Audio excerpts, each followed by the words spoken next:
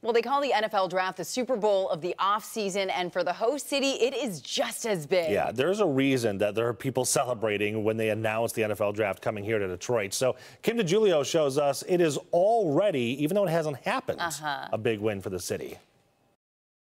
You might not understand why we keep making such a big deal about the NFL draft coming to Detroit or why this countdown has been here for the last two years, but that's because it is a big deal and the city of Detroit is determined to educate us on the importance of this draft. We are going to welcome America to the city of Detroit. The NFL draft is sure to bring a huge party to downtown Detroit April 25th to the 27th.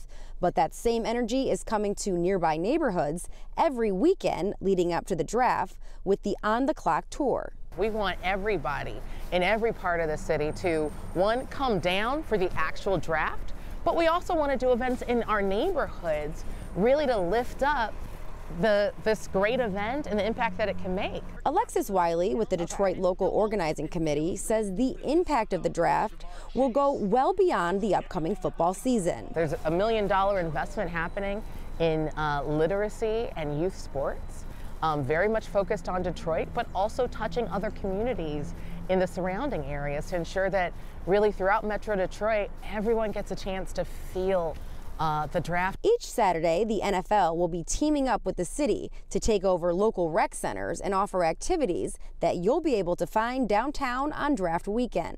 The On the Clock tour is really about going to recreation centers and, and um, family facilities where people can come out during the day for a festival They'll see the, the draft truck is going to be there. There's going to be lots of fun for the entire family. Bounce houses, NFL exhibits, workshops, photo opportunities are just a few things you can expect. We have so much to be proud of this year and really to support the Lions and the great year that they had. And yet, talk about the momentum. Like, we had no idea back when they announced the draft was going to be here a couple of years ago that we would be coming off the heels of playing in the NFC Championship game. So, uh, the fact that now we have an actual good team and the draft here, I mean, that's kind of like a double whammy. 100%. You nailed it, Kim. I mean, this is a moment for us. All eyes are on Detroit We've had a, a lot of people focus on, we, we, we literally are a, like America's team, right?